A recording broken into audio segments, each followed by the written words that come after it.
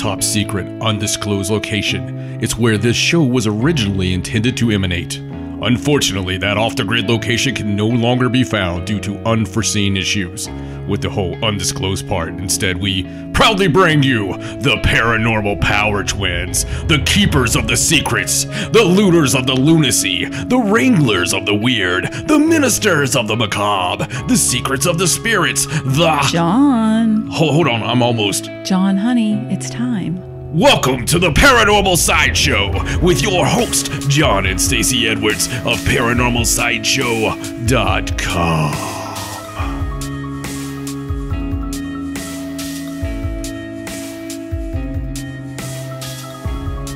Hello and welcome to the Paranormal Sideshow. I'm your host, John Edwards, and joined as always by my lovely wife, Stacey. Hello. And we have a fun show for you today. We do. We're going to have Mike Sears on. Mike is a uh, guest that we had on the Haunted South back in 2011. Yes, long time ago. Long time ago. Yes. I'm surprised I even remembered it was 2011. About a year into the Haunted, Haunted South, we, we brought Mike on. Mm-hmm. Mike uh, is the director for Volunteer State Paranormal Research, Right. which I'm a fan of right off the bat because it's Tennessee. Exactly. I am born, you know, Yes. Mm-hmm. in Tennessee. So I, I'm, I'm a product of that beautiful state. anyway, Mike uh, has some very interesting and very unique experiences. yes, great stories. He- great stories. And, and I can't wait to get him on here and talk about them because really being um, Air Force, uh, you know, retired Air Force, uh, military man, Mm-hmm. he's, he's definitely got that attention to detail. Yes. I guess that's the best way to put it. Yes. And so his paranormal research that he's done, Mm-hmm. a lot of it, you know, has occurred in his home. He's had a lot of things over the years. And the, the unique thing about it, and I don't know if he intended to do this, we'll ask him about it, Mm-hmm. but it's all been chronicled on social media. Um, he just happens to put uh, pretty much most of the experiences. I would hate to think there was much more than that Really? onto Facebook, all you know, and into social uh, blogs and, and and what have you Right. The really cool thing about that for me is when you go back and look at it as a body of work Right. you know you see all kinds of things that have happened and it's kind of fun to play along at home well, I know he was doing that in 2011. Yeah. When we had him on too. So it's been even that much longer. yeah nonstop Yeah, nonstop crazy. stuff i mean I, I- you know the attention to detail i Mm-hmm. love that from I almost said I love military guys. Sorry. this I like my military men. I like to hang out at the bar right beside the base on a Friday night. Oh, Giving away our secrets. It's so nice. yeah, that's what we do for kicks, guys. ParanormalSideshow.com. That's your address to go find out where to pick up Military Man. On Facebook.com slash Paranormal Sideshow. That's where you go and find everything you could find if you just weren't lazy and went to ParanormalSideshow.com. All Stacey's little stories and everything. On Twitter, it's at Sideshow97 because we're awesome and cool and come up with things like Sideshow 97. on Instagram, ah damn, it's John and Stacey Edwards.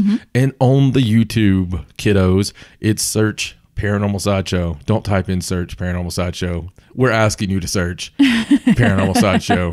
And that might that may seem funny to some of you, but Some people need the directions. some people need the directions. it, it would be those people that need for their shampoo to say "Do not eat." Yeah, Those are the people we're talking to. Exactly. Not for no orifice. Um, yeah, you know, ooh. so I do research. Mm-hmm. I didn't know if you knew that or not. I, I was aware. Okay, so- I, I thought maybe. So I do a little bit of research Mm-hmm. um, all over the place, right? Right. And um, sometimes I listen to podcasts. Yeah, we're actually big podcast listeners. Yeah, I'll, every now and then I'll, I'll Mm-hmm. listen to podcasts and I'll read blogs and things like that. When I listen to podcasts, I like to listen to stuff that is pertaining to something I'm interested in. Right. So I'm not going to give too much away about this because you know the one thing that the rule we followed for the last seven years, Mm-hmm. seven years of doing a podcast, we have one golden rule: Right. we don't make fun of people Right. directly. right. So Right. I, I may make fun of a country, or I make I, I may Well, that's all in fun, though. We're not Yeah. really making fun of them. But No, as far as no. other people in the paranormal, you know, everybody has their own ideas and their ways of doing things. So Right. we just, laugh along with it. yes. And sometimes, you know, we may laugh at Kentucky because anytime there's a UFO reported or some strange Or anomaly, or something. fireball in the sky, it's always like Bangladesh, China, Taiwan, and Kentucky all spotted the atom. You know, um, Kentucky has to be included. I don't don't know why, but they, you know what? They probably did see. I know what I saw. I know it came right over the trailer. We were watching Housewives, and it just shook the whole place. But yeah, you know, I could say that because I'm from Southwest Virginia, via Tennessee. Is that how they say it? I think so. like where you're from. Yeah, I think so. So back to my story. The reason that I feel like I must tell you not to type in search. I was listening to this podcast, Mm-hmm. And I know we're not the most polished and beautiful, and we're pretty raw, man. I mean, we Yeah. were we I mean, we're not like the most professional podcast no, in no. the world No, we, we by far. we pretty much record it like it is, you know. Mm-hmm. The, the, the only reason we record it is just for your listening pleasure, not ours. I mean, we, we want to make sure that if there's any burps, farts, accusations, or if my stomach growls, allegations, because that happens a lot. yeah, anything like that, that that we can actually edit that out. So. I was listening to this podcast and I was actually kind of excited because it was going to be talking about a piece of equipment that I was interested in. Right. Okay. So I found the creator of this device and I was like, okay, cool. Here's a podcast with him. And let's just say for, you know, craps and giggles that it was um, Paranormal Pioneer Podcast. Okay. Okay. That is not the real name. He's No. making that up. So it comes on and there's, of course, the obligatory minute and a half of music for no reason. Right. Right. So as the music's playing, all of a sudden this guy comes on and he sounds like the the adult education teacher for Lisp.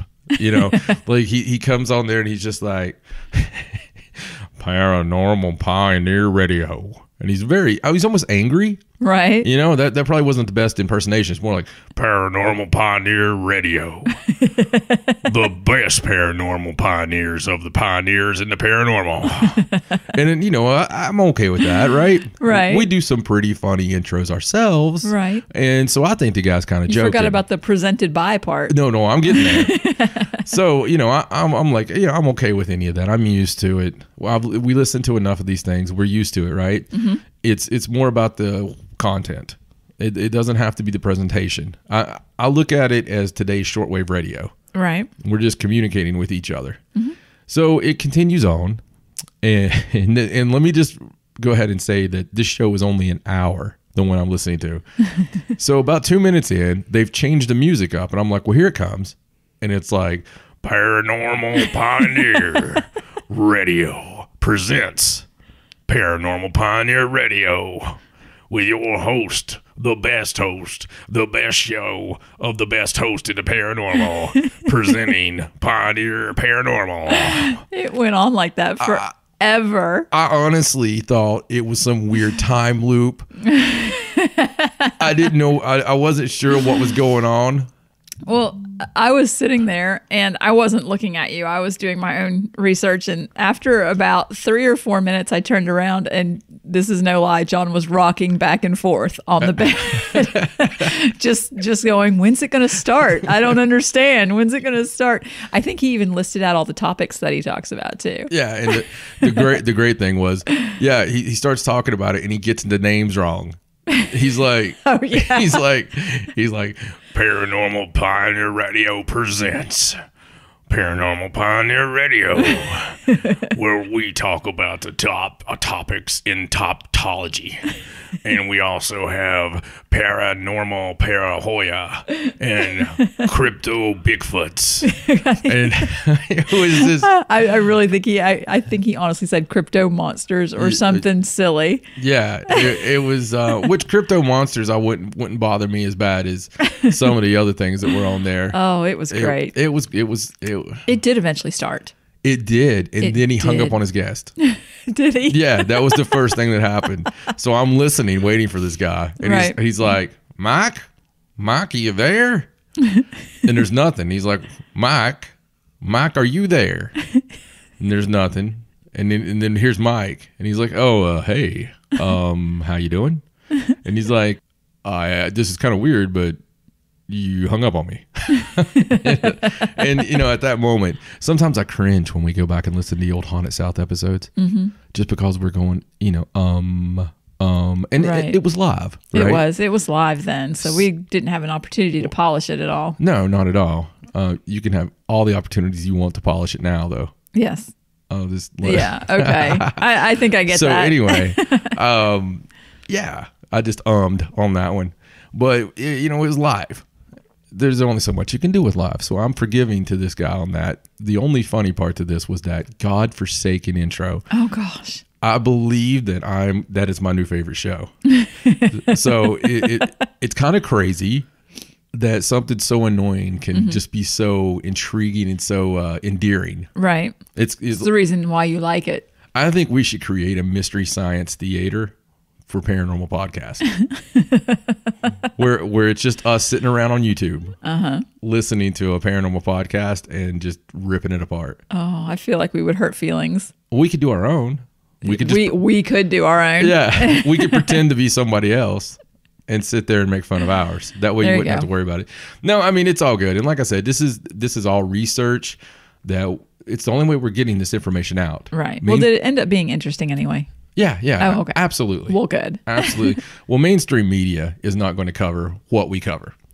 You know, you're just not going to have it happen. Um, Right. Local news media is only going to cover you on Halloween or Mm-hmm. uh, with X Files music, as we've talked about before. So the only real way to do this is to interact in our communities. Exactly. And, and the best way right now is by podcasting, as far as really listening to ideas. You can read, but in the in in the reading of, of blogs and stuff, you're not going to get the full, you know, stories from people like you'll get on a uh, podcast or radio show. right. Well, you're not going to hear people talk about it like when they have a passion for something. Right. You want to hear them talk about that. Absolute. The reason that we started this, the reason I started this in 2010, uh, was just because, and I'd been wanting to do it for a a, a year. It was the only thing on my mind. Yeah, I just I remember. knew I wanted to do this, and it was just simply to bring in everything. I wanted to talk about, and you know what's kind of funny? John Tenney had a blog recently. Right. And you need to link to that for me Okay. because it, it was just a short page uh, long thing, but uh, I believe it was on Weird Lectures. And I absolutely loved it because it's what I've talked about for so long. And, and of course, he's talked about it for way longer. Um, but it, everything, you know, we're, he talked about back in the 80s or 90s. I'm sorry, I'm not trying to date John Tenney. Um, the- Are you not? well, maybe. I think he's single. so back in the in the early 2000s in the 90s uh, going to these you know paranormal cons or whatever Mm-hmm. uh, before they were paranormal cons uh, social gatherings of weird people everything was together Right. you know it, it- people shared ideas and um, there was a little bit of animosity between the fields Right. but right. you still shared ideas and, and and really tried to further along and it was it was almost a and I've said this before about these things it's almost like a support group Mm-hmm. I mean if you've had an alien encounter Right. You need to talk to other people that have had alien encounters. you absolutely do Yeah, if you've. Had a severe haunting no one's going to believe you Right. we know that firsthand yeah. so They're going to act like they believe you. yeah they're going to until you leave the room Mm-hmm. so you know it's easier just not even talk about it right so that that it's like a support group. And um, anyway I, I I love the podcasting community and all, all fun with you guys. This is uh, all in jest. So anyway with that said speaking of jest it's now time for the paranormal news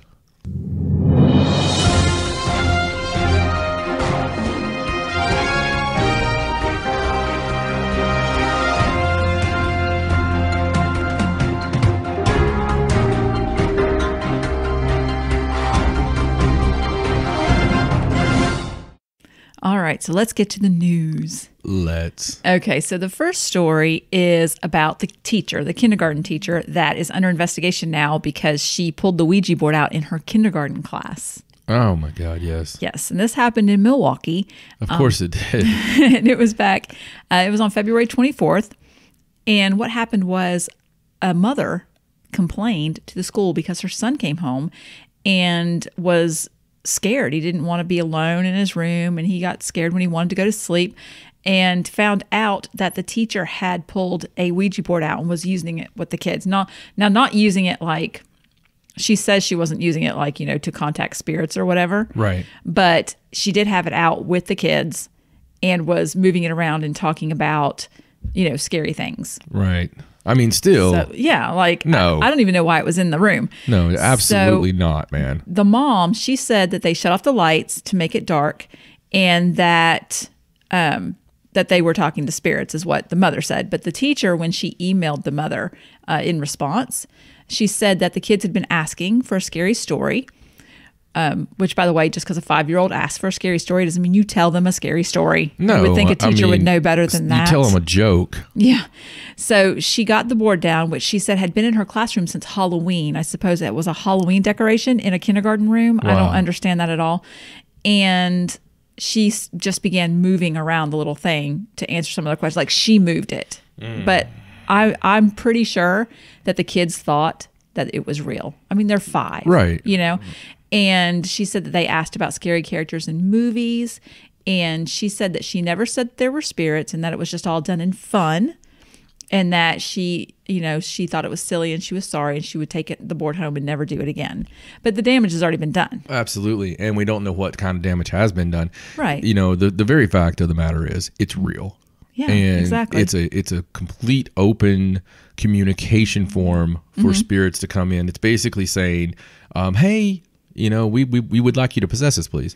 Um, Exactly. Unless it's not, you know, unless it's done correctly, controlled circumstances, whatever. And that's Right. still kind of iffy. Well, you know, I and I want to put in here because I know there's this huge debate about Ouija boards and you know whether they're dangerous or not. And some people are just like, I'll never have a Ouija board in my house and this and that. And you know, I don't. The Ouija board itself is not the dangerous thing. I mean, if you went to the store right now and bought a Ouija board, it would be cardboard and plastic, and it would do nothing. It's when you use it wrong, or you don't understand what you're doing, or you think it's a game and you don't believe what you're doing. Well, that, that's where you get the danger. You're opening up when you use it. Right. You are opening up the door mm-hmm. to say, I want to communicate with the other side. exactly.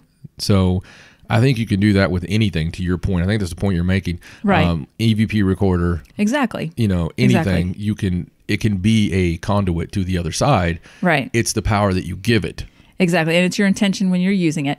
So, you know, I don't think that just having the Ouija board in there was was dangerous, but because she took it down and used it and made it look like a game, that made it I will give bad. it. I will give it this much to her defense. Uh, Right. Mm-hmm. if you're not in the paranormal, you think it's something from Milton Bradley. right. That is not dangerous. exactly. and you know that it's associated with horror movies and things Mm-hmm. like that.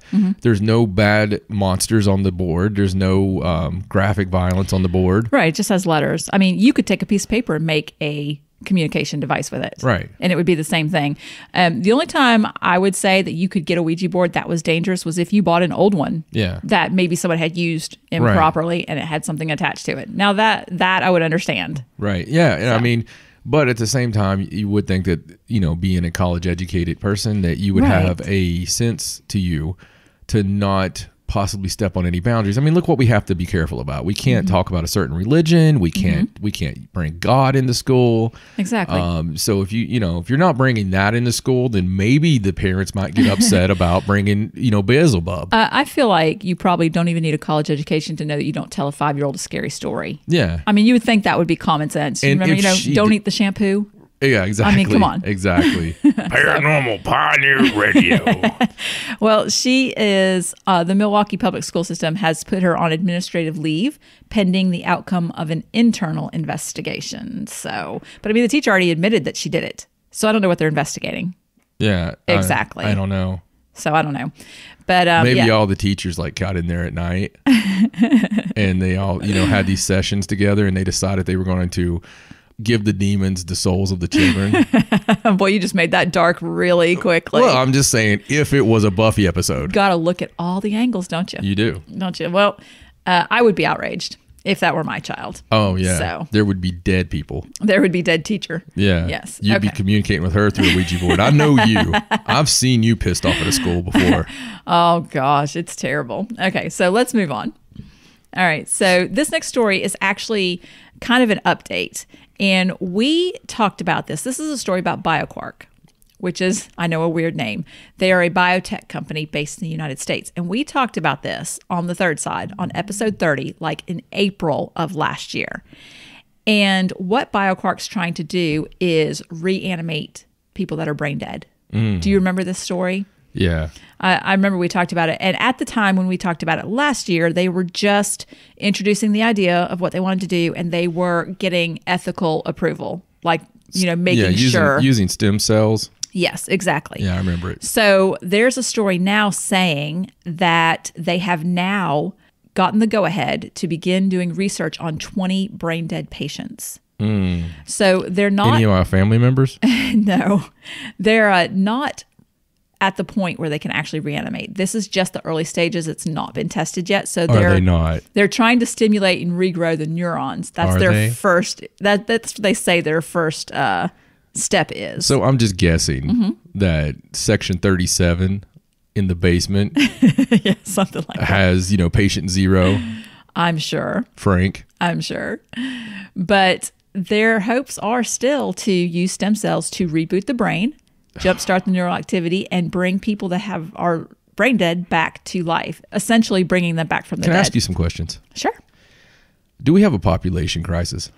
uh, I believe we do. Just a little bit. Do we have Mm-hmm. places on, on Earth right now where people can't get water and can't get food? Yep, I, agree. Mm-hmm. mean, we're already living longer. And trust me, as the older I get, the more I'm all for that. right? my my opinion has changed quite a bit in the last 20 years. exactly. but I don't think. Look, I I, I don't want to get any too too far off on something, but when it's your time, it's your time. Mm-hmm. Right. everything happens for a reason. Exactly. Don't play around with things you're not supposed to play around with. I agree with you on this. This one. is pretty much to me. Don't Mm-hmm. feed don't feed the flipping mogwai after midnight. well, you know, I and I'm all for stem cell research because they can do amazing things with They it. They can. to people that are still alive. Yes. But I think once you've passed, I mean, I don't So know. how did we get to trying to fix someone's vertebrae to reanimating their brain? I don't know. And now I don't know if there's a time limit. Like I don't know if it's one of those things where people pass away and they immediately try to re or but they've obviously It would are- have to be. Yeah. mean, like I mean how how far gone be too much decay. right. But I mean I don't mean like months, but I mean how many hours you can go before this would work. I know I, I'm not a doctor. Right. Mm-hmm. I know that's shocking, but I really think that we instantly start. You Mm-hmm. know, things instantly start getting damaged, right? It, it- isn't when you die Mm-hmm. and you're an organ donor. It's very timely. It is. It's time sensitive, and I know that, that they can keep brain dead people alive, but but then there's that question of when does your soul leave your body? Yeah, You know, right. and what happens then? so maybe this is coma patients. Is, would that be considered brain dead? Uh, maybe it doesn't really go into detail about no, who the- they're the coma testing on. patients are completely. Their brains are the only thing that are alive. I'm not sure.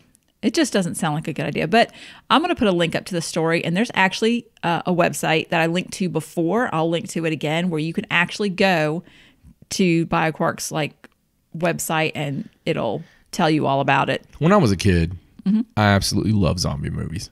I was the only kid who liked zombie movies. Right. Everybody else liked slasher flicks Mm-hmm. when I was a kid. Right. Um, some people liked vampires. Mm-hmm. Um, some people liked werewolf movies. Most of the people liked werewolf movies when I was a kid. That was the big deal. Mm-hmm. Right. Uh, Silver Bullet, stuff like that, you know. But I like zombie movies. Hmm. And, you know, specifically, I liked independent, foreign. I remember that. Zombie I remember even when we met, you were like, you had to school me in zombie movies. Yeah, I love zombie movies, Yes. right? And nobody, nobody uh, that I knew Mm-hmm. liked them. So years go by, and the zombie craze starts, right? Right. And everybody loves zombies to the extent that I can't stand zombie things anymore. Like if it's zombie a go go, Mm-hmm. I'm just you know what I mean. It's like I'm pretty sure you showed me some like obscure foreign zombie movies. Oh, like yeah. we had to buy a special DVD player yeah, just to play the to other play the other region DVDs. And I mean, I've seen some really crazy stuff. Hey, there's some really good ones. There are. Cemetery I love, Man. I love foreign movies. Oh, I love that movie. Yeah, that's a that's great, great. movie. Anyway, so back on topic Yeah, here. sorry. Um, the when it when everybody got into it, I really got out of it, Mm-hmm. and then it started bothering me that everybody wanted a zombie apocalypse to happen. Because I'm Right. thinking, do you? I mean, It sounds cool, but really, do I'm- you? I mean, do you? Because since I've been alive, I've seen all of us know how to make a fire in the woods and, you know, go hunting to none of us being able to do anything but potato ourselves, watch television, and play on our phone. oh yeah, If the power were to go out forever. forever, No internet. we would instantly lose 85% of the population off stupidity alone. I agree. And the ones that survived that decided, hey, I bet all these guys are going to loot and burn each other alive. You know, and, and the smart ones would we would hide in a cave for a year, Mm-hmm. let them all kill with each other our off. with our stash, Yeah. our preparedness stash. I mean, do you really want this to happen? No, you don't want this to happen. And so anyway, the zombie stuff, it did, but it seems like since the zombie craze happened, and this is my point, right. that more and more they keep screwing with things that could potentially Yeah, cause the zombie apocalypse to create a zombie apocalypse. oh, it's going to happen. Any, I mean, either that or monkey's going to take over the world. I mean, Well, one of the two things is It just happen. reminds me of you know like a tulpa, like like almost like they're putting so much energy into that wish right. that it's actually becoming possible because the one of the reasons I loved it when I was a child was the only zombie I'd ever seen was like the in search of um, obscure African tribe that brought somebody back from the dead and they walk around. They're not really dangerous. They're not biting your forehead. Right. It's a totally different kind of zombie. Total different kind of voodoo zombie. Exactly. You know, I like that. Uh, so it, it's just weird how you could put so much energy and thought into something. Well, it's funny you brought that up. I'm going to jump ahead to this other news story that I have that I was going to do later, but I'll go ahead and do it now because it's about zombies. Oh, okay. Okay. So it's about the one in Indiana where the radio station got hacked Oh yeah. and uh, there was emergency radio alerts of a zombie attack that was broadcasted in Indiana. War of the Worlds, Indiana. Exactly. It says the broadcasts, which were replayed frequently on a Winchester station uh, around noon on Wednesday, uh, they warned that there was flesh-eating attack as well as a related disease outbreak from dead bodies. And the Randolph County Sheriff's Department actually had a post on their Facebook that it was not a real thing because people were calling and that somebody had hacked the radio station and was playing these and they made it sound like they used the emergency alert sound Oh, wow. um, one person did say that um, that they didn't have a very professional radio voice, so they they questioned it. Really? So yeah. So if you're gonna hack a radio station, get you know make it sound professional. Pioneer Paranormal. There's a zombie attack, and it's the best zombie attack that's ever been in the pioneering of paranormal zombies. Right. So they um. I don't think they've caught who did it, but somebody with a sense of humor, I suppose. It was Well, you know, what are they going to do to him? I know. I don't know. It was on station WZZY 98.3. So I thought that was pretty funny. Um, but on a side note, you know, the CDC actually has a zombie preparedness page. They put it up a few years ago, and it's all about uh, what what to do in the event of a zombie apocalypse. And it's basically just being prepared for an emergency, any kind of emergency. Right, but right. they make it zombie themed. So that because that seems to be what people look at. yeah, they did it for fun. Yeah, but they've kept it that way because it Right. worked so, so well. Right. But you can go there and they actually even have a graphic novel that you can read that has a checklist at the end. That's really cool. Yeah, it's actually, but you can download it. They should have had. Robert Kirkman do it. Yeah, you know, I looked at it a little bit. It, it's pretty interesting, but it's not that. It's funny because it's like the government's all helping and everybody's all, you know, in the gym and, you know, the police are all. The government's helping. Yeah, they're like all, Round us into the FEMA and they camp. find a vaccine, you know, and all this stuff. So it's not really real life, but it's a it's a graphic novel. It's Well, I mean, what is real life? They could have like, Coral. This is how you survive, Coral. yeah. I mean, I suppose they're gonna have kids reading it, so you know. All right, anyway, so let's talk about a couple other weird things that Maybe happened. they can read it in Miss Johnson's class with the uh, Ouija board. And the candles and "Yeah, the, today, kids, we're done with the Ouija board, and the but magic circle. we're going to talk about zombies. All right, so let's just talk about a couple other just strange things that came around in the news this week. This is my affirmation. All right, so did you see the video about the turkeys? I, I did, and I was I was highly disturbed. Yes, it was very strange. And the only reason I say this is because where we lived in Virginia, one of the houses we lived in Virginia, there were wild turkeys all the time. Right, And they there was just wild turkey all the time. Well, yes, there was, but there were wild turkeys that walked through the yard, Right. and you know they just they never acted in any like group like no, no, form. They were just random and they'd wander. There's a bunch of them. They never congregated. Exactly. So this video that the man took that lived in Massachusetts was a group of wild turkeys circling around a dead cat, Yeah, and nobody knows why they were doing it. yeah, it's very very bizarre. It's very crazy. it was like if they had little robes and, and you know some kind of weird gobble chant. right. It's like gobble, gobble, gobble, gobble, gobble, gobble. I, I don't know if they were trying to bring the cat back to life, or if maybe the cat killed one of them. You Uh, know, maybe. And then they're like, "Hey, you know what, mother?" You know, they come, they come You almost back. made me have to use a beep there. They kill. I've learned. they kill the cat, and that's they're making sure the cat can't get its ninth life back. There you go. You know, Well, they did ask a wildlife biologist, and he said he suspects, because he doesn't know, Right. that the turkeys were just sizing up the threat of the cat. I don't like they thought maybe it was a threat, and they were just Okay. they were worried, but you know they don't really know. So I Right. thought that was pretty weird. And the other weird thing that went around was s- just everywhere, went completely everywhere, was the sh- the cloud, the shadow person cloud oh yeah, over Zambia, and I didn't post the story. I you called that one right off the bat, though. yeah, I didn't even pick this one up, but I did post on our Facebook. You can go to our Facebook and look um, that showing how that's obviously a hoax. Um, there's a picture you can find on the internet very easily of a kite. It's like called a Spirit Man kite or something like that. It's a kite, special kite that this company makes. And the funny thing is, is there's a picture of that kite, and I posted it, and it's exactly like the picture of the cloud over the mall. I mean, even the clouds are the same. Right. So somebody put a lot of work into it. yeah, like they didn't try really hard. Right. So it's it was an obvious hoax, but I wanted to mention it because it did go to a lot of different websites, people that just pick pick up stuff without Right. really, you know, being able to look into it or whatever. But so that was one of those new nice hoax thingies. What we should do to people that hoax things. Draw and quarter them with Shetland ponies. All right, so let's move on to an actual story. Let's do it. Okay, so this is a story that we actually put up on the website about a man named Paul Howard. And he found some pictures uh, that were hidden in his grandfather's house and barn after his grandfather passed away. And these are pictures that supposedly show uh, Bigfoot.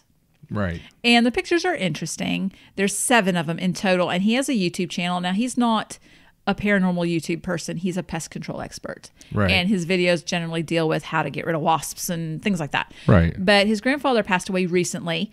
And he found, he started finding these pictures. He was going through the house and he found two buried in the barn. Mm. And so he's got them all. He finally did this one final video where he put all seven photos, and you can go through them. Now, they're grainy. Right. And they're Of course they blurry because they're Bigfoot pictures, but there are a couple that are closer up that are are interesting. Um, and he did say that his grandfather was a very serious person. He didn't think that he ever believed in Bigfoot. He never said anything about the photos. He never showed them to anybody. He just had them and hid them.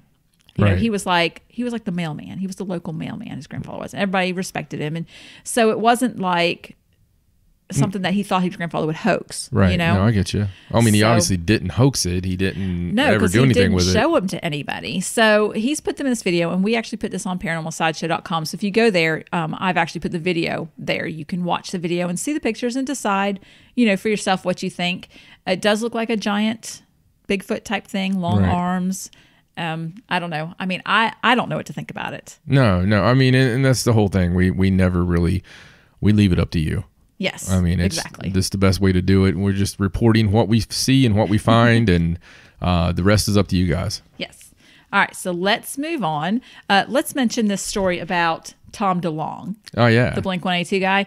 Um, you know, he's really into UFOs now. He is. That kind of thing. So recently at the 2017 International UFO Congress, they actually, um, openminds.tv, you Uh-huh. know, the website, they actually gave him the 2017 UFO Researcher of he's the kind Year award. he's kind of taken on the uh, mantle of the spokesman He for has. for the whole community. And he made a speech there and he made it a point to say that, you know, he says, I'm just like you guys. I read the same books. I watch the same videos. You know, I I think the same things about all this. He said, but maybe he said, did, did I use my notoriety a little bit to help me get my message out? He said, yes, I did. But, you know, Well, good for just- him. He feels like it was important for him to do that. And, And he they, feels they like attack he, him all the time. They do. And he feels like he actually did make some progress this Yeah, uh, he has, and Mm-hmm. you know, it's nice to see him get a little respect here because he's been attacked and, and, and slandered for years, you know, for his beliefs. And right, right. So it's very brave. so he and he's he's doing a lot of things there's like i'll link to this article there's like things that he's working on where he's still trying to move that forward and Right. trying to get disclosure and stuff like that And so Blink good for him. 182 still rocks. well we think so anyway Big fans. yes all right so let's talk about this is a cool story that i found um that I hadn't heard about until recently, and it was about it's about this display in Greece, and they're displaying this seven thousand year old archaeological enigma, is what they're calling Oh. it.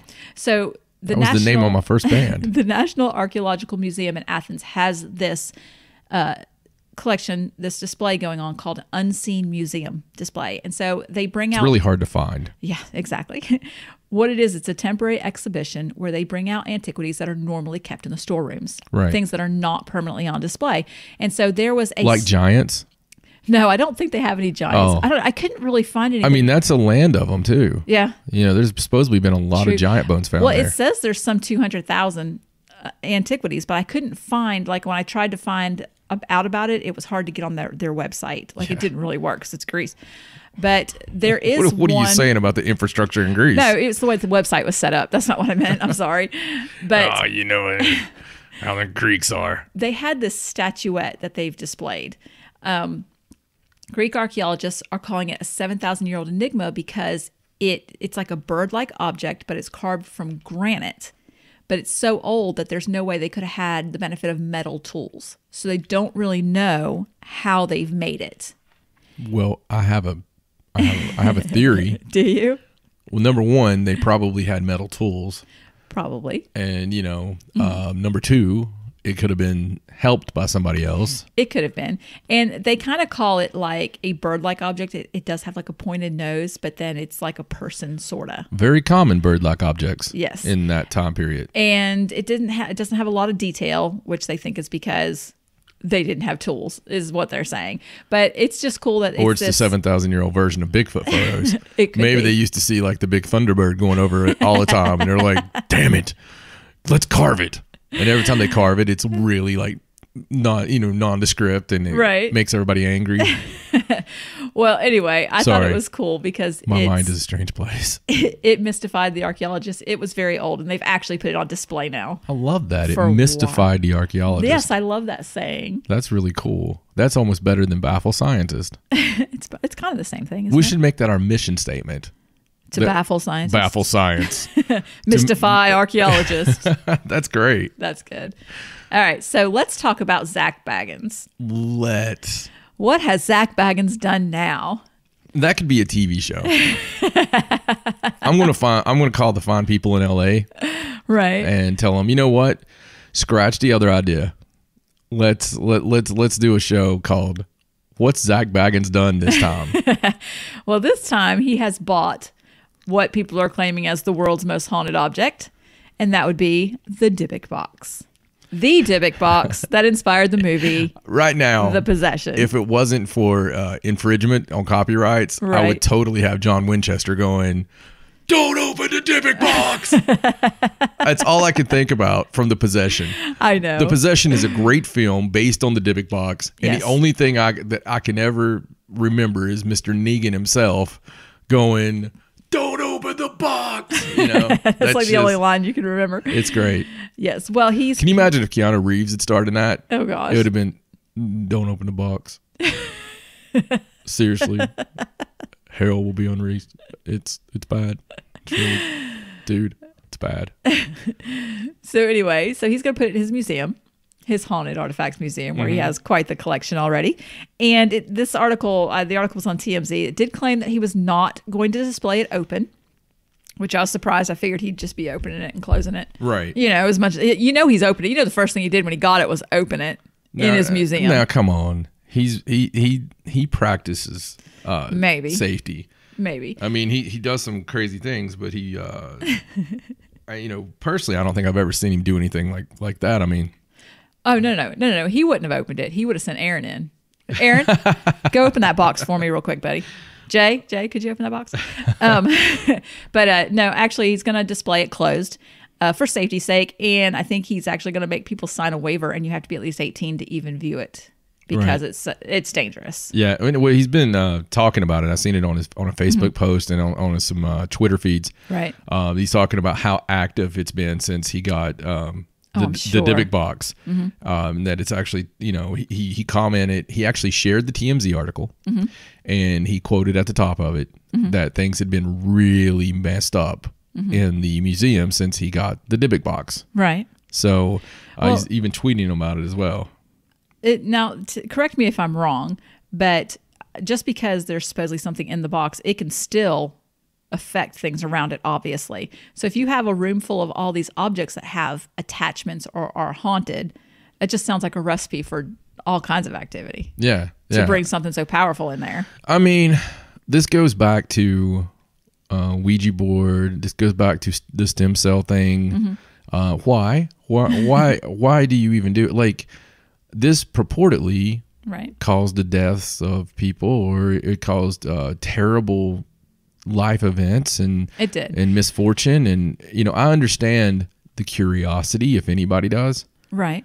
but at the same time having paying people come in and i know it's at their own risk if they go in there it's their own Yeah. Well, risk especially if you make him sign a waiver. I will say that I feel like his heart's in the right place. Yeah. That he feels like he could. I mean, I feel better knowing that somebody that understands what it is has it than it just being passed down through family where they don't know what it is. can i go back to john tenney for a second sure. so let's just say somebody gave it to john tenney Mm-hmm.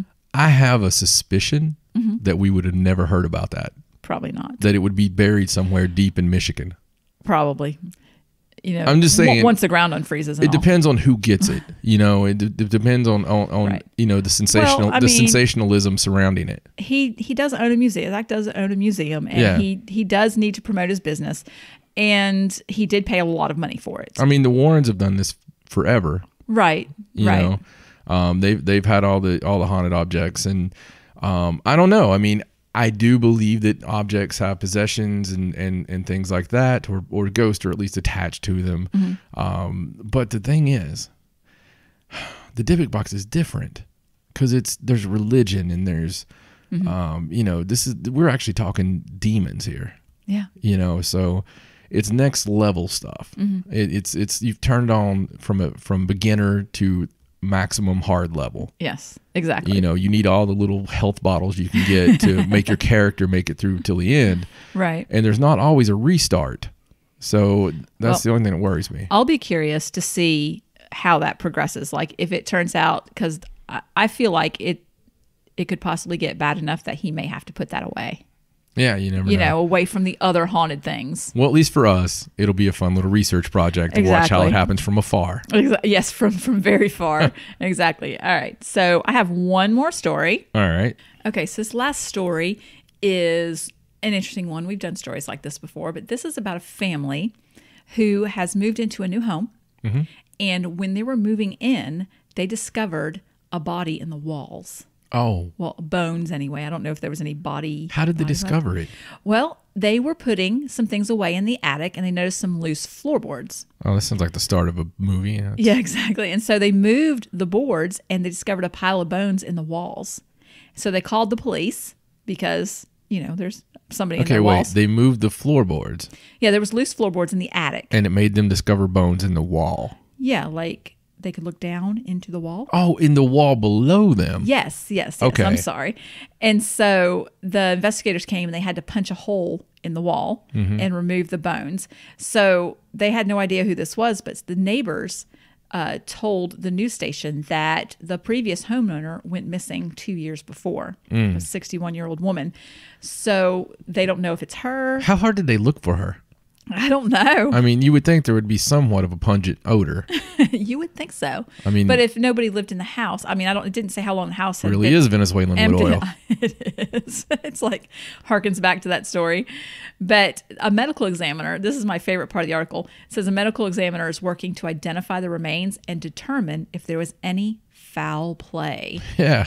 Where she just absolutely tripped into the wall. Right. Or if she just died naturally inside the wall Right. of her own home. But it might not be her. Now they, Yeah. they don't they haven't identified the body yet. It may just be somebody completely different. Maybe sixty one year old got gone because Maybe she, hid someone in the wall. maybe walls. she killed. Yeah. Yeah, exactly. And, And then she took town. off. Yeah.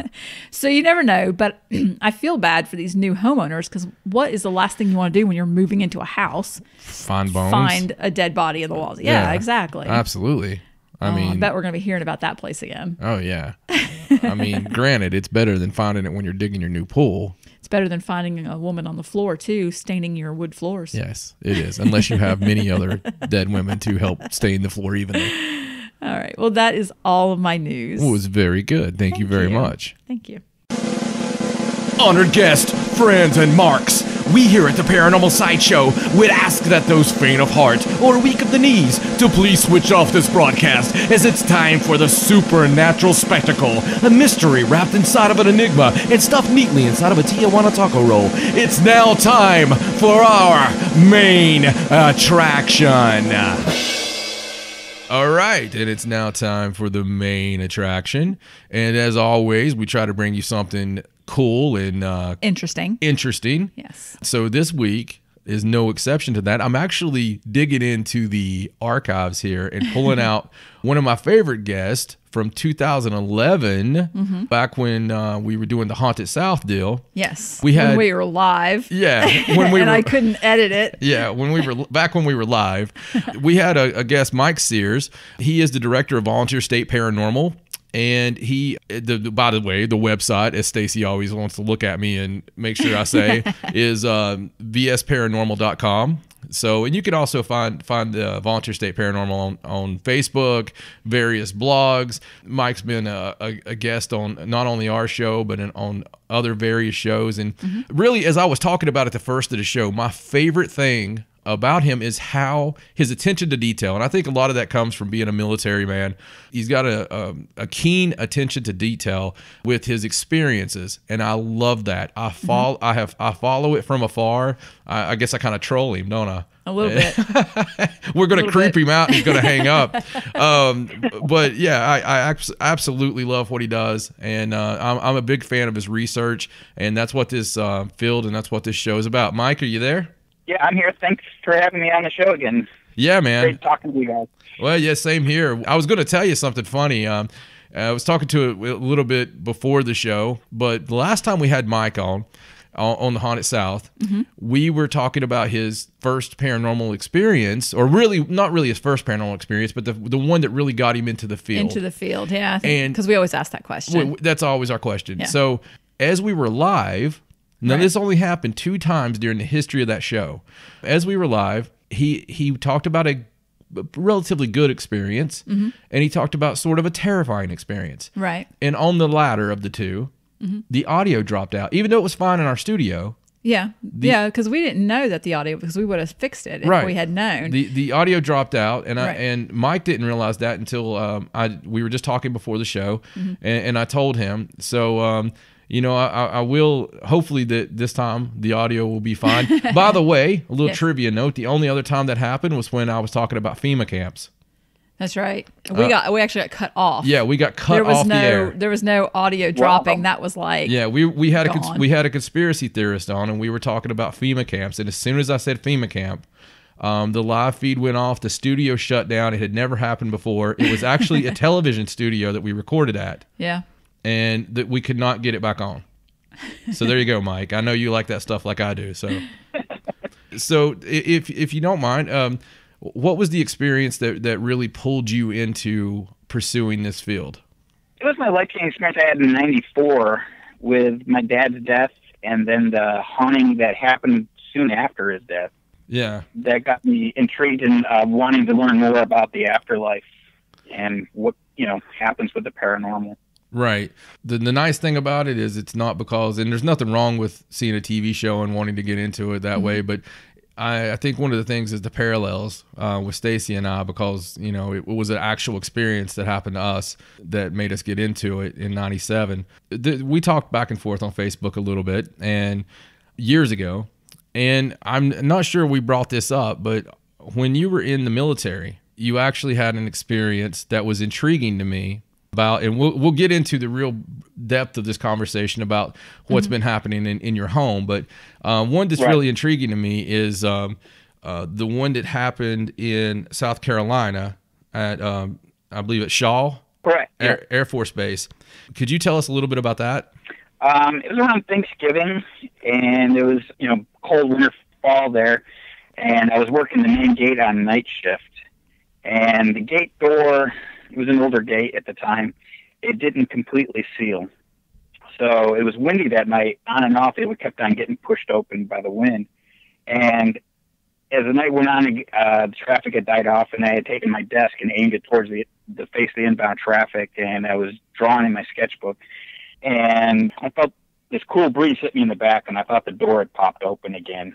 So I looked up, and there in the window in front of me was a man standing in a a, vintage uniform, a khaki colored uh, Air Force uniform, and I started talking. I said, "Are you okay? Can I help me? You know, can I help you there?"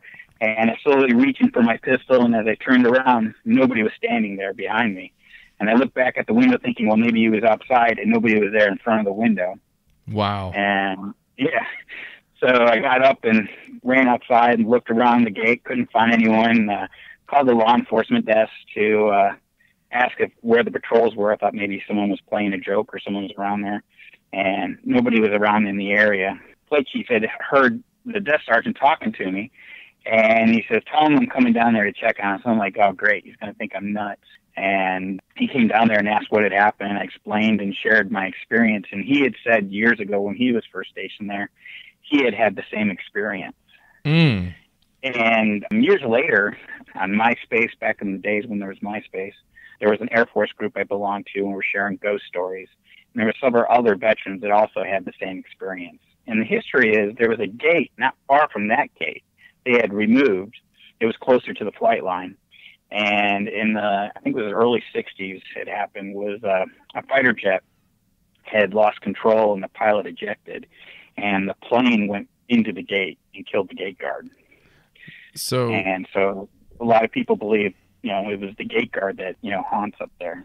So I was very intrigued, as I said, about this story. When I first read the story, uh, you had shared a link to those discussion threads, and it was it was very intriguing to me. So I did a little digging to try to find something about the um about the plane crash, and, and now I did find a, a plane crash that was very bizarre. So maybe it's not as bizarre as it seems. Uh, you would know better than I. But in at Shaw uh, Air Force Base in July of 1960, there was two RF 101 jets that took off at 3:46 a.m. and it said that it was on a night refueling mission. And as soon as their landing gears went up, they supposedly both went down harshly to the ground. And at the time, there was a farmhouse there and uh, one of the jets kind of, I guess, I don't know, skidded or something bounced, and uh, it killed an elderly couple in the farmhouse. It, it was um, they were in their 80s. Uh, it was like Mr. and Mrs. J. E. Davis Senior, but also it killed the two pilots of the RF 101s or the F 101s. It was like a Lieutenant Roger uh, Siegel, 27 of Brooklyn, and a Captain Clarence Topke, 30 years old of Franklin Park, Illinois they have there was no witnesses to the crash and uh, they really don't have a reason that this happened to this date Wow. so i thought maybe you would find that interesting Yeah, because there's another accident when I was stationed there in the 80s. I think it was uh, 89, it might have been early 90, that uh, we had an F 16. He was coming back from target practice, and he lost control of the F 16 and had to eject, and it crashed near a housing area. And Wow. the fuel, when, the F 16 hit the ground, it hit in this uh, cornfield. And it bounced and it broke off the fuel pod, and the fuel pod hit the house almost like napalm yeah and the family was having a reunion in the backyard. oh my Oh god, God. yeah. oh. The grandfather, he um, was covered by the fuel, and he had like eighty Oh, percent burns or something like that on his body, and he died within a couple days later. And Oh. I remember I was on the crash response team when we got there. There was you know livestock dead, and saw chickens running around, uh, you know, with no feathers on fire and smoking and stuff like that. And uh, so that's interesting that there was one in the '60s, almost you know almost the same scenario. it really is it's um it's that's almost creepy that it's it's so close to the same scenario and wow so i mean i thought it was weird that they were just on takeoff like that um because if i'm not mistaken that's you know that was some pretty good jets for the time period for 1960 i don't know that's that's really intriguing maybe that's another story for another time or maybe it was meant for us to talk about it who knows Right. Yeah. That's just interesting because they're so close to the base. I wonder where those, how far those two that went down in the housing area, because uh, across from the base it used to be kind of rural, you know, and that's what that neighborhood was. People had small livestock in their backyards and stuff like that. Yeah, that's that's. I mean, honestly, that is very intriguing. It's weird that that caught my fancy anyway. you know, out of everything we talked about, uh, that really kind of got me Yeah. and and wanted to talk about it. So yeah, th- that and uh, besides that, and the fact that every other veteran from all these Air Force bases had such uh, crazy experiences, especially the one in Wyoming, that was that was pretty crazy. All right, so one of the big things I wanted to talk to you about, since I've known you, well, know, known you through the interview and known you through social media and and everything, the way the world is now, you have kept up with a haunting, your haunting, and you know it's and and I say that, but not really in that much of a negative light. Right. You know, you've you've really explored and you've done what a lot of people never do, and you've investigated within your own home of of these hauntings that have been happening. I, I will tell you that that I've kept up with it for years, but uh, you know I would almost like to go back to to the beginning on that. But I will say something more recent that I was very much moved by was an Echovox session that uh, you guys had posted from uh, January 28th of two, 2017 Right. and the female voice uh, and we're gonna we're gonna post this video on paranormalsideshow.com you know for people to see but some of the things that were said honestly freaked me out um and, and, and it was just it was troubling to hear um you know one of the things said you know we serve uh mike and um monique i believe it said and um Yeah. you know, and then uh, please help us over and over. This lady was saying, please help us, and she couldn't see her body. Right. She was talking about there being three spirits there, and she said, I love hearing myself. It was very, it was very trouble. Was was it troubling like that to you too? I mean, Yeah. Yeah. Because I'm like, why? Why is she stuck here? right, And what I could tell you, you know, how this all started here at the house and why I investigated the house. I moved in this house in 2005, and I wasn't even into paranormal research at the time. I didn't want to deal with ghosts after dealing with the extreme haunting I had in Florida. right, And um, we bought the house, and the second day, we hadn't even had furniture in the house. We were just starting to bring stuff in. And I got a six foot folding table, and I set it up in my office is down in the basement. I have a finished basement. And um, I was setting up my computer, and I just got my computer on, and I thought my wife Monique was bringing down a glass of water for me, and I see coming down the stairs this woman dressed in white, and her hair is up in the bun, and I froze because I realized it wasn't my wife, and she come down the stairs, and she was just gliding. There was no sound of her coming down, and she stopped at the bottom of the stairs, and she was probably less than five or six feet from me, and looked right at me and smiled, and I was speechless, and she just turned and continued across the room and went right through the wall and vanished. And I yelled out to my wife, I'm like, holy crap, we just moved in a haunted house, you know? right, right, absolutely, And I said I didn't want to deal with another haunting, especially like I had in Florida. right. That's and uh, uh, that. I mean, that's a hell of an experience right off the bat. Yeah. yeah, it was like day two. I was like, wow. And when we moved here, my daughter was three at the time, and she started uh, seeing a little boy out in the front yard playing. And she kept on asking to go outside to go play with him. Well, every time I went to the door to look outside, there was nobody out there. So I started going over to the neighbors and asking who's got the kid.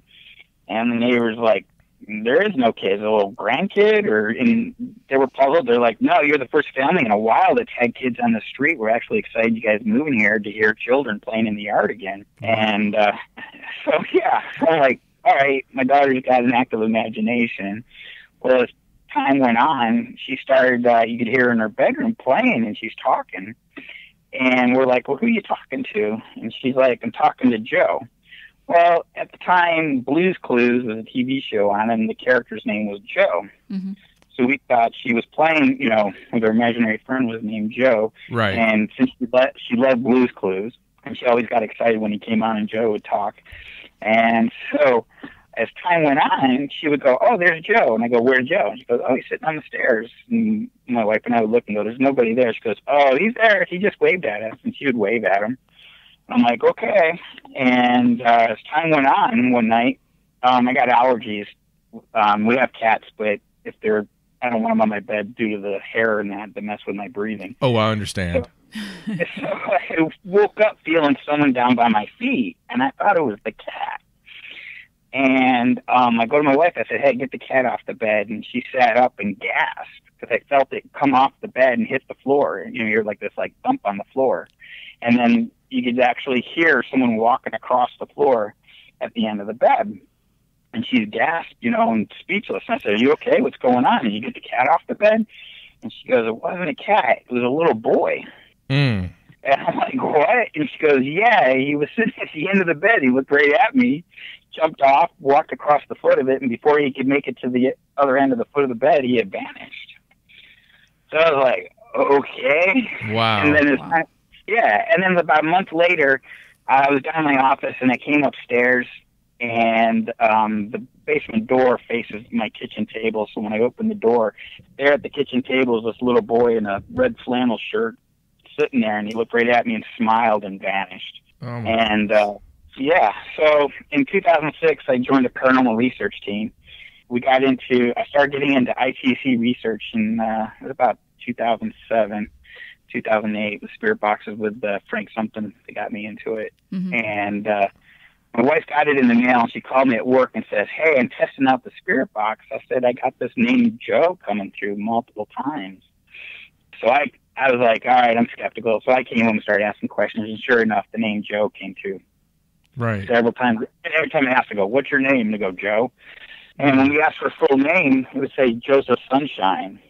So I did some research in the early 1900s, between 1900 and 1920s.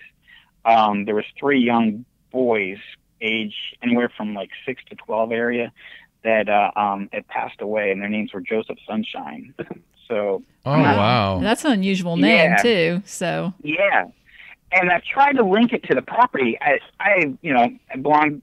I worked with the historical society here in town, and Mhm. gone to the library, and I worked at the local museum, and no one can tell me any history of the property. The only person I was able to find was a police officer, and he had said when he was a kid, the, that whole land area where my neighborhood is was vacant except an old farmhouse, and they tore that down when they built the neighborhood Right. and but no one can give me a name. So I don't know if he's connected, you know, to the property.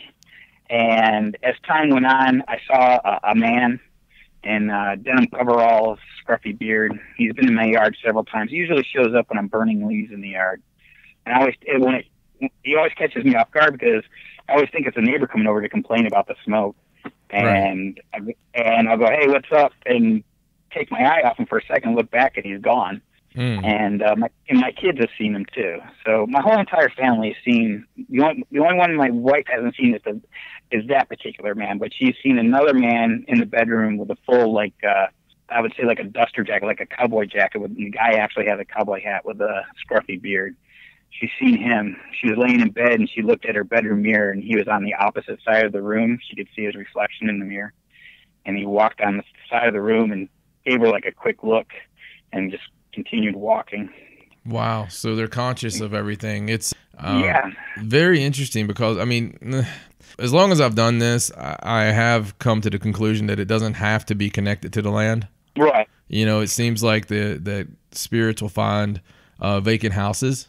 So if it, Right. I don't know how long the house had been vacant. It'd been vacant for two years when we bought it, and we had bought it from a couple that bought it from um, an estate. The it was the original owner was an older lady. The house not that old. It was built in '84, and um, she had uh, passed away. She had had a, a stroke and then died later in the nursing home. And this couple bought the house, and they totally remodeled it. Right. and uh, and then they flipped it and we bought it.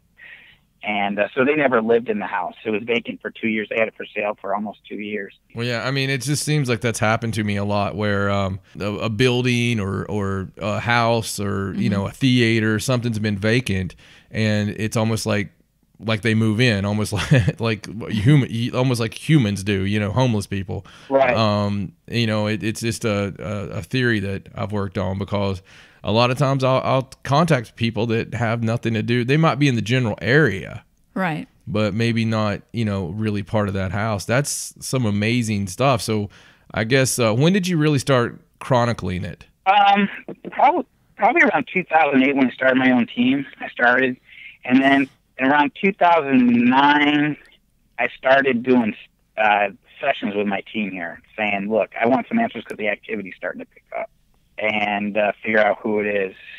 My kids, they're they're not scared of it, which is great. Because my daughter, she there was one time when she was real little, she walked into the main bathroom and saw a woman in there, and, and it scared her, and she came running out. And there was one time she was using the restroom, and an arm came out of the wall reaching towards her, and that gave her a scare. But other than that, when they see him in the bedrooms, that they, you know, tell him, "Hey, hi, if you want to talk to my dad, he's downstairs," or you know, we can't talk right now. I love how we- you're nonchalant about it. Yeah. Yeah, we've grown to get used to him, you know. And there's times where they bother me, woken me up, and I said, "Look, you, you know, I'm I need my rest. You know, I'll talk to you later. I can't talk to you right now." And I've had that happen. But That's so the great thing is I've had company come over to my house, and they've witnessed it. Right. So I know I'm not crazy. Mhm. And a couple of years ago, I invited two paranormal teams for we had like a a, a Christmas get together with a potluck dinner, and then I let them investigate the house for several hours, and they were blown away. Wow. You know, they experienced stuff. And I've had I I let my new team members. I'll usually do a session here to let them get the experience. And if they freak out here, I don't want them to go to a client's house. So Right. Absolutely. What a good Yeah. idea. Mhm. Yeah, Um, I, I had one of my team members. She's a recording artist in Nashville, and her first session ever, we're up in my daughter's room, and I said, "Well, if anybody's downstairs, we're upstairs. Feel free to come up and talk to us." And all of a sudden, she heard like a kid running up the stairs, and she's like, "Who's who's running up the stairs?" And the natural EMF tri-field started pegging, and the motion lights came on. And I said, "You go look. You're you're new. I know what it is. You go look." That's And she was great. scared to go look, but as soon as I walked towards the stairs, you could hear him running back down the stairs full speed. Sound just like a kid going down the stairs. Yeah, And- that's amazing. I, you know, I'm I'm I'm really into the uh, ITC as well. Probably got into it around the same time you did. You know, I remember using the Frank's box and the Shack Hack and all that good stuff. You know, it, people go either way on it, so it really excites me that you're Yeah. into it because uh, we had uh, who is it? Uh, was it? I don't want to get his name wrong, but Richard Hobart Edwards. Is that um, Um, speak- Mi- Michael. Michael, Michael Edwards. Edwards. Sorry, Michael. The Speaking to the Dead with Radios uh, Yeah. guy.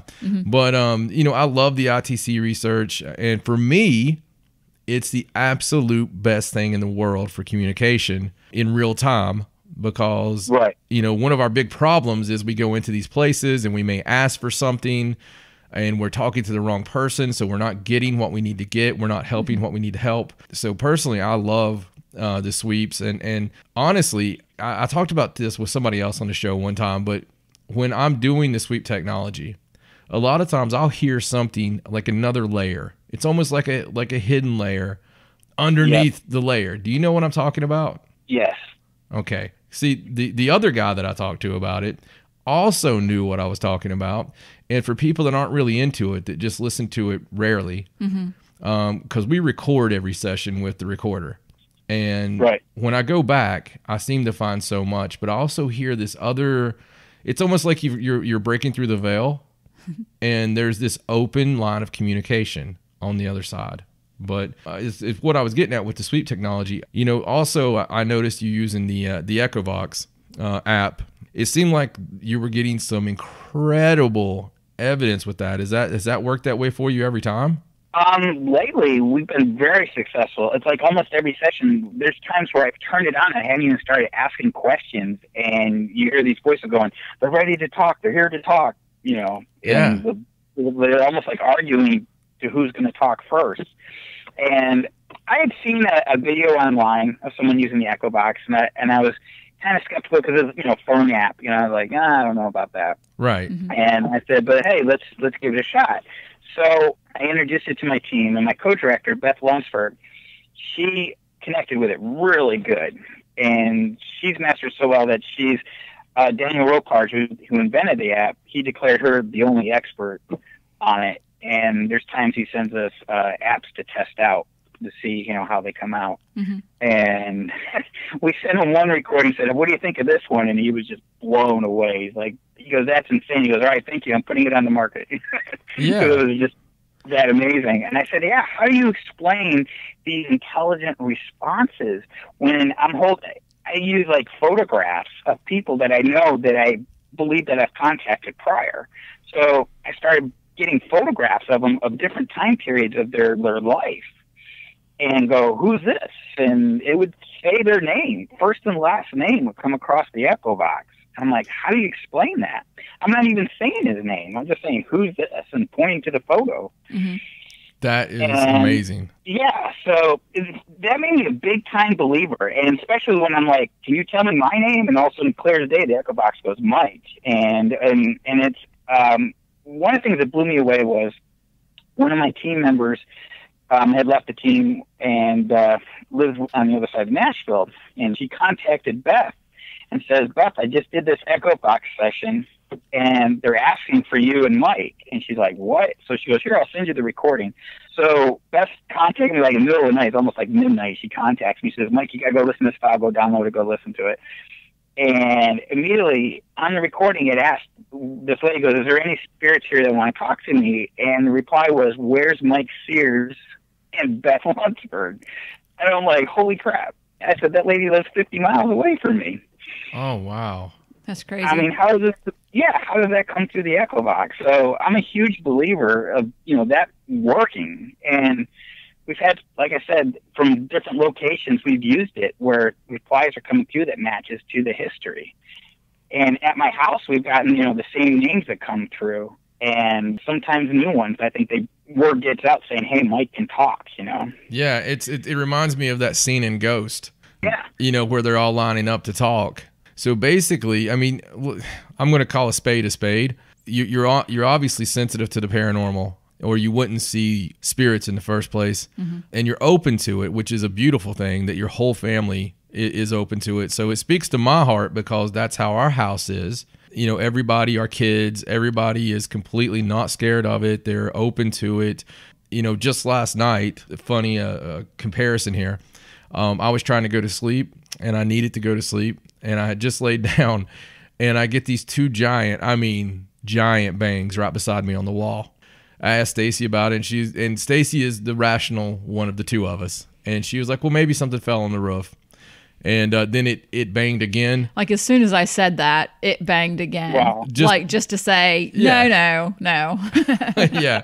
So you know that and that stuff, and it's funny because we talk about this in private, but so much weird stuff happens that would normally send people off with their their arms in the air, flailing uh, Right. to the loony bin. right. But when it happens to you day after day after day, you just learn to accept it. And I think that the spirits know, as you said, that hey, I can go to Mike and and possibly get a chance to talk and someone who really listens. It's really incredible, man. And and I'll, I'll have to put it over again. Anybody who hasn't uh, seen this video, I you know I am ordering you to to go to either Mike's page or uh, find Mike on Facebook. Go to paranormal. We'll, we'll link him on paranormalsideshow.com. Uh, dot com, but you have to go and check out some of these sessions. They're just amazing, especially with. And I don't believe that the new Echo Vox that they're using actually has a phonetic generator. Is that correct? No, no. It's it's all scrambled up noises. And then you have the EchoVox R, which you can record your own soundtrack. You can read a poem, you can just mumble a bunch of noises or alphabet, and it takes all those noises and scrambles it up backwards, forwards, and and that's your sound bank. Right. And that we we Daniel gave that to uh, Beth for us to try out, and he was blown away what we got through. I have a I'm working on editing right now because I had bought a Halloween decoration I had bought at, on clearance, and I brought it in the house, and it upset the spirits big time. I tried to scare my son with it. He was sleeping, so I put it at the end of the couch where he was sleeping on, and I thought he would wake up and see it. and well, the ceiling fan in that room, the pole chains on it just started swinging super hard, and we're hitting the glass globes, and and I said, "Wow." I, I said, I don't think the fan's unbalanced, and I steadied it and stopped them, and everything was perfect, and then they just started right up again. And so I took the decoration down, and it just kept it up for hours. And we had had this fans with the pull strings before in the house. We've had one time all three fans doing it, and uh, But that day it was really intense. So I go to my wife. I said, "Let's do an EchoVox session," and I got some amazing replies that. I'm- I'm working on the video for that, and hopefully have it up before the end of the month. Did they tell you Um, that they were I- upset that you were trying to scare your son? They're saying they were upset. I asked them, are they hitting the fan? They, they clear as day. You hear them say hit chain, you know, hard and click, and Wow. it, it was just amazing. I played it for my mom, and she was just blown away. She was just like, I can't believe how clear as day these responses are coming in. And I said, yeah, that backs up the chain on the fan. And there was one time throughout the night that the fan was going crazy. And finally, I, I put my foot down. I yelled. I said, look, we got it. I put away the decoration. I apologize if we offended you, but you need to stop with the fan. And it stopped right after that. Wow. But but one of the things that blew me away that night, they were swinging and playing, and my daughter's like, "Oh, they're back at it with the fan," and I said, "Yeah, just ignore it." And several times she got up and stopped them, and then it would start up again, swinging back and forth. But one time she gasped and she goes, "Dad, look!" And I go, "Holy crap! I wish I had it on video. The chains totally twisted together all the way to the top where they could go." Wow. and just hung there for a few, you know, several seconds. And I said, no way. And then it totally unspun. That's I've, I've seen it where I said, stop it and see the pendulum hold in midair and freeze. And then, like, someone's grabbed it by their hand and then let go of it and it starts swinging again. So that's um I mean that that's some extreme that's what I'm talking about. That's Yeah. very extreme, you know, and I I love what's happening. I mean, some of the things that you've had happen to you, Mike. Yeah. Being, being able to put the that video- pictures. Oh, The, the video of the, the shadow maps in my hallway, I don't know if you've seen that one I posted several years ago, where I was constantly seeing shadow figures going up and down the hallway. And I said, that's it, I'm getting the video camera out. And sure enough, you see this big mass appear on the wall, and it looks like two figures. It's cool that you could you- catch that on video because a lot of times by the time you get out the video equipment, everything just kind of stops. Well, we had a spirit from another location we investigated that was constantly coming to me, and I was having visions. I would, you know, black out and see these visions of her being murdered and where her body's located and that from this prior property. And uh, she, we started getting disembodied voices in the house of her yelling out, "Hello, talk to me." And I, I filmed some of that. You know, we had a, I saw about the size of a football ball of light floating across the house that was during that time period. She was constantly waking me up. So my wife joked, she goes, I feel like I'm sleeping in a science lab because I had multiple video cameras in our bedroom and sound recorders and motion lights filming us while we sleep, you know, and the next day I review it and I'm like, look at this. I said, there's an orb flying above you and all the motion lights in the bedroom are turning on. And I said, how do you explain, you know, this stuff? So I said, I know I'm not crazy, especially when I had her voice on, you know, the recorder talking about you know, waking me up on mic, waking me up. And the funny thing is, several times when I've been woken up, I think the female spirit that resides here, which I think is the older lady that originally owned the house, right. Mm-hmm. she she gets upset when there's too much traffic in here, and we have her yelling, "Get out!" And I and you know my wife was like, "Oh, that doesn't sound good." And I said, "I think it's her telling the other spirits to get out, you know, to leave her, you know, leave the house alone and let us, you know, get some sleep." I didn't take it as anything, you know, negative. She's gotten some captures when she was going to college for her RN nurse a few years ago. Um, she was taking notes on um, about insulin. Right. and and and the old lady she she was diabetic and and, and she had a stroke. And all of a sudden you hear that she was blown away. She was recording it on her phone her notes and then she drove to school and she's listening to a recording in the car. And she's like oh my god who, who's that? She was i was asleep and the kids had gone to school so she was the only one awake and talking in the house but clear as day here is this old woman when she's talking about what insulin can if you don't get the insulin for the diabetic thing. And uh, uh you hear this one go a stroke. And it sounds like an old lady, and it's Class A EVP, and then suddenly you hear this man goes, "It killed her," Wow. and yeah, and That's we, crazy. we- yeah, so I, I I think that you know they they definitely can see us because we've actually you know held up how many fingers can you see, and I wish my team member had some great video on it. We were just testing out the Kinect on that January 28th investigation. Right. And on the EchoVox, that woman that you're talking about on the video, there's a part during that session where she says she can see me, Yes. and we asked, "Well, where are you at?" And she goes, "In front of in, in front of you." And so I had told Stan and my team, I said, "Hey, take the Kinect and aim it at me." And sure enough, right in front of me is a stick figure. Right. So that, that's another great thing, you know, backing up the ITC to have that, you know, Absolutely. connected to. Being able to back it up is great. I also seen the um, the worm capture on the Kinect. Yeah, I, have never seen anything like that, and I've, I've shared it with other researchers. Going, what do you think of this? And they go, I don't know. I said, when I first saw it, I thought maybe it was a piece of lint floating in front of the lens, but I go, it's not. It's it's got its own path and direction of you know where it wants to go, and it goes behind my fish tank, which is that big black blob you see on the video. Right.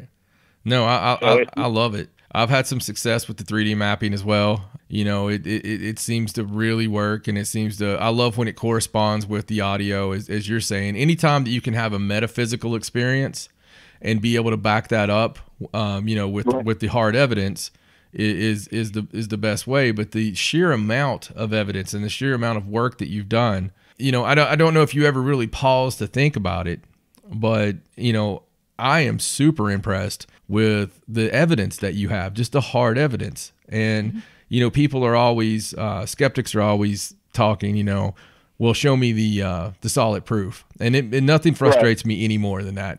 Well, it's frustrating because even when you show them stuff that is proof, they don't. They claim it's not proof. Right. Right, So- right. So, you know, the, the very fact that the work you're doing there, I I think it's great because just the, the way you don't look at it as a negative and you don't, Right. you don't look at it as a negative haunting. I, I would say the spirits appreciate that as well. Yeah. But you know, the the questions still remain. It's almost like when you get this evidence, it, it creates more questions because the girl we were speaking of on the EchoVox, she was talking about not being able to see her body. And Right. You know, I, I could distinctly hear her saying, you know, I, I can't see my hands or, or you know, why can't I? Uh, but she could see you perfectly. But then you got to look at the fact that they project themselves to us in, in, in pretty much in the form that they that they most want. Like their construct is maybe them at 25 years old. Or, you know, sometimes it's the old lady is the old lady. I get that. Or the little boy is the little boy. But still yet being able to, you know, what makes them different? What makes the what makes one being able to project, which you would imagine they could they'd be able to see that if they were able to do that, and what makes the one that sounded terrified that she couldn't see herself. That was what was troubling about it was Right. she just seemed terrified. Well, that and her asking to come back, like she just kept saying, "I want out. Get me out of here." yeah. Yeah. It's not my time. It's yeah, not that my night we time. had the front door slam wide open. Mm-hmm. And I think that's in the video clip too. You hear the loud wham, and everybody's like, "What is that?" And I said, "I think that's the front door." And I went, and sure enough, our storm door had swung open, and it was latch closed. And I went outside, found it wide open, and there wasn't even a gentle breeze. It was dead air outside. So I was like, "How the hell did that door just swing open?" Wow. Yeah, and, and if you if you've not thought of this yet, I I would sincerely want you to write a book. I'm, I'm actually working on that, and I mean everybody's been on it for years. And I've been trying to. A few years ago, I started it, and I had it on my laptop, and I didn't save a backup. And when my laptop got fried in the Jan uh, last December's investigation, Mhm. I lost it. So I started all new again, and I'm working on it. But I was hoping to have it done by this summer, but I don't see it getting done by the summer. yeah, well, I mean, it, I know how it goes. It, it, once again, can I can I point out another parallel? Um, I'll let Stacey point this one out. Uh, yeah. So John's been working on a book for a long time, and he, we were really close to having it finished on his old computer that has crashed now and cannot be recovered. So he had to start over from scratch, but he's about done. He's Yeah. about Yeah. I'm saving now on the computer and on a memory stick, so I got two copies of it. Yeah. There you go. The way they uh, the way they turn stuff off with you, you know, that's uh, you never know what what'll happen to it. Though it'll all be wiped out or. Exactly. but yeah, it's a very intriguing story, and, and like I said, the, the whole point that uh, you have put it out there, you've been really vulnerable with it, with the experiences, and and and that really pushes the field forward with with some of the work that you've done, and you know that's why I want to, that's why I wanted to in 2011, that's why I want to now, you know, really promote that and, and and push that out there. I think you and your team, uh, you and Beth and, and your team have really done great work you know, for the field. So let me ask you, what's been the most I don't know. You, you've had you've had some really good experiences. What's been what's been the most harrow, harrowing experience of your paranormal career? Uh, out of all my investigating, Oh yeah, Um, um, it was probably when I first started. The team I belonged with at the time, we got to investigate an old elementary school that was built in the early 1900s in Nashville, and I got to investigate there over a dozen times. And a medium had picked up a name, and it matched with a a gentleman that was a custodial there that was brought up on charges for uh, misconduct with children, Ooh. and he was prosecuted and hung. Oh goodness. And he did not like women in that school when we investigated. Female investigators were always grabbed and touched in vulnerable areas. And um, we were doing a session in the area where he normally resides at. And one of the, the team leader goes, Mike, you just disappeared. There's just, you, it's just totally black all around you. I can't see you sitting in the chair. And I said, yeah, I'm like tingling from head to toe. And then I go, wow, my left ear is getting super, super hot. And the medium goes, I think you're being attacked. You need to leave. So I got up to go walk out of the room, and I got halfway out of the chair, and I felt this big paw of a hand grab me on the shoulder and shove me back into the chair.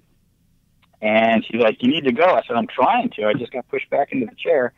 And as I was leaving the room, they said they saw like a ball of light follow me. And when I got outside, my left ear was just super beat, beat red, like it had hmm. been burnt. And the next day, my ear peeled like a sunburn. Wow. wow. Yeah. So that's probably the most intense I've ever had.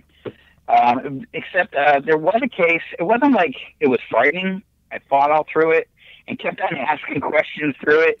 is I think a spirit tried to enter me to communicate, and that that scared me. Um, all of a sudden, I was we had gone to a walkthrough at this private residence, and I had gotten three different spirits. So I went back there with the medium, and I started asking questions. I said, "All right, who's this?" And then who's this? And the, the house I was working at was a, a, veteran, uh, Afghanistan war uh, and Iraq war veteran, and um, a name that came through matched to one of his friends that was killed. Mm. And so I started asking, you know, is this, you know, who's this person? And wanted to see if there was actually him, you know, connecting. And all of a sudden, I said, wow, who's sad? And it just hit me so hard. I just started crying so hard. Mhm. I was fighting it. It felt like I had just witnessed my my wife and kids hit by a car or something. That's how intense it was. Yeah. And and as soon as I said it, it just like left me. It was like someone hit a light switch. It just was gone. Right. And I said, "Wow, you know, I don't know what that was, but I need to go outside and get some fresh air." That was intense. Yeah. And uh, so it wa it wasn't like frightening, frightening, but it was probably one of the most intense moments I had while Yeah. investigating. I mean the the empathic things, and obviously, you know, being in this field uh, for for a while, some of us are lights. You know, it, I'm I was hesitant to say the sensitive thing for a long time just because of the stigma attached to that. But obviously, like I said a while ago, you, you're you're very sensitive to the paranormal, if not more than that. Yeah. You know, but but I, I firmly believe that some of us are lights. Uh, for whatever reason, our soul's burning bright, and it's very easy for the other side to see us. And Right. you know, some of that comes from doing it continuously. You know, if you go play baseball every day, you're going to be a really good baseball player, at least better than you were. Right. But, you know, I think some of us are naturally that way. You seem to be a bright light for the other side to see.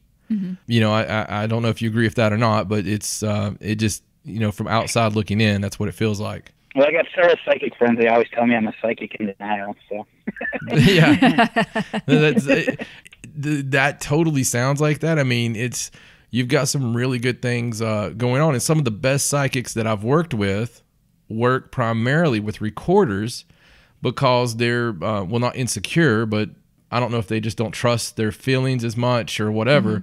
Uh, but to get that backup, that validation, the, the scientist in Right. them requires that.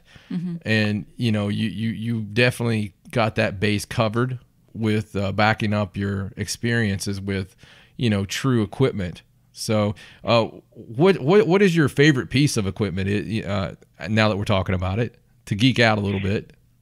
probably probably the digital recorder, and for that main reason is to back up, you know, what I'm feeling or seeing or hearing. Um, my team, I always tag it out loud um, when I do sessions. I always say possible voice, Right. and most of the time it is a voice. Team will go, "Yep, I got an EVP there. Mike was right. You know, I got this reply." You know? Yeah, John does that. Oh, sometimes he'll just say that he heard something, and sometimes he'll say, "I think I heard," and he'll say what he thinks he heard, so that when you go back and listen to it, you can match it up. We're kindred spirits, Right. buddy. kindred spirits. Um, it, it's become a joke, um, you know, with teams over the years. If you want something to happen, go with John. So I, I, I feel, I feel that it's the same way uh, w- with you. But I, I just want to say, you know, I really appreciate you coming on the show and, and sharing some of your experiences with us, scaring our audience a little bit. But I, I, I can't put it out there enough. You have to write that book. You have to finish that book for everyone. but you know, other than that, I, I implore everyone to go to vsparanormal.com. Go find Mike uh, his page on, on, on Facebook. Uh, go find the team's page. They do some really amazing work. And you don't have to be, you know, on TV every week to, to be one of the best paranormal teams out there. That's right. And I'll, I'll put links up for everything, and I'll link to that video, especially we've been talking about. Yeah, I'll give you um, Beth's page two, Music City Ghosts. She has a lot of videos of sessions that are done at my house. Okay. She has probably the most videos that you know are from my location. So, Okay, yeah, and I do visit that page, so um, uh, so that's Beth's page. Okay, we'll we'll get them both up, and uh, we'll get links to everything.